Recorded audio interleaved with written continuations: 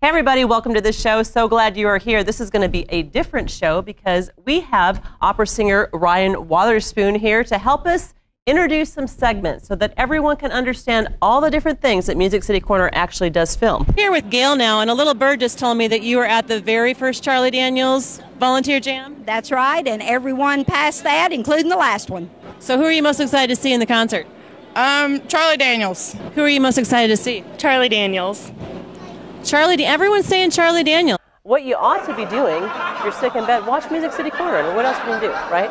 Yeah. It's some good swag. We also got to chicken dance. I did get to chicken awesome. dance, and we may have a clip. Hopefully, won't have ever have a clip of that ever. And you're on the show because you are the lead actor in the locally produced film Fog, which we're going to talk about later. Yeah. But I want to go over everything else you do. Thank you, Kendall, for being on our show. And if you guys want to watch Kendall live, she's at Piranhas on Third Avenue in Nashville, right? Yep. Uh, Yep. Every Two- other yeah, two Wednesdays a month. until Yeah. August.